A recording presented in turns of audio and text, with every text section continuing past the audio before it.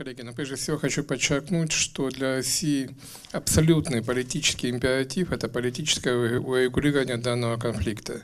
Нам жизненно важно, чтобы этот конфликт не перерос в горячую стадию, потому что, на мой взгляд, ну не только на мой взгляд, это самый опасный конфликт на постсоветском пространстве поскольку втянутым быть в больший конфликт, региональный, а может быть и в больших масштабах для России через Карабахский конфликт гораздо больше шансов через какой-либо другой, понятно, в силу определенных э, связей союзнических, ну и так далее. Причем в этот конфликт автоматом будет втянута Турция, ну и, понятно, дальше по цепочке принцип домино. Э, единственный бенефициар этого конфликта – это Соединенные Штаты Америки. собственно, о том, что в Карабахе полыхнет, можно было понять тогда, когда, собственно, начался украинский конфликт, и Запад не вышел из него победителем. То есть любое изменение баланса международных сил на постсоветском пространстве обязательно приводит к вспышке Карабахского конфликта. В этом конфликте проигрывают все – если он развернется, перейдет в активную военную стадию.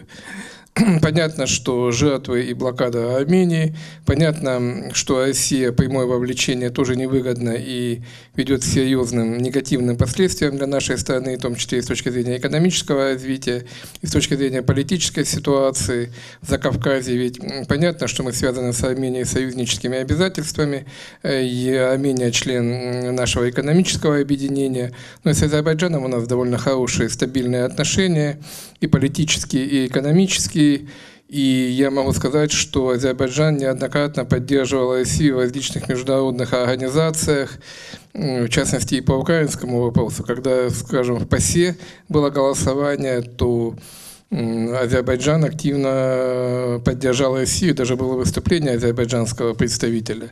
Есть большая азербайджанская диаспора, в России это нельзя сбрасывать со счетов.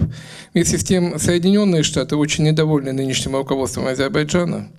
Они неоднократно предпринимали попытки устроить там свой Майдан, но просто азербайджанское руководство довольно стабильно себя чувствует, пользуется поддержкой э, населения. И поэтому для и да, и Соединенные Штаты не очень э, довольны Эрдоганом, несмотря на все его последние авиансы в сторону Штатов. Все равно задача свержения Эрдогана тоже стоит перед Соединенными Штатами. Поэтому Карабахский конфликт выгоден тем, что при любом его исходе, в случае перехода в активную военную стадию, кто-то из э, американских скажем так, не то что недругов, но те, кто не устраивает Америку, может потерпеть серьезный ущерб.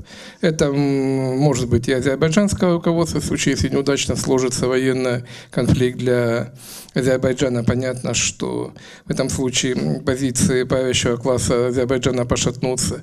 Если активно мешается Турция, то любое участие в Турции в военном конфликте, опять же, негативно скажется на ее развитии. А напомню, что у Турция очень амбициозные планы, они 16-я экономика в мире, поставлена задача стать 10-й экономикой в мире в ближайшее время.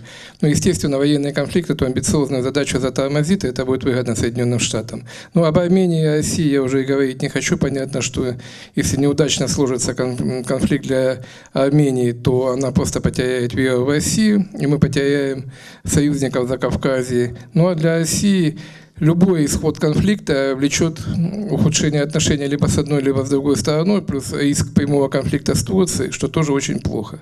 Поэтому политическое регулирование конфликта абсолютно императив для России.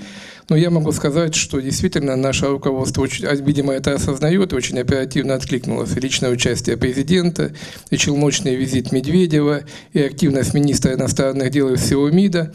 И все это внушает надежду, что все-таки удастся дипломатическими методами удержать конфликт э, в политических рамках. Вот то, что можно сказать. А выгодно это, собственно, Соединенным Штатам, это очевидно.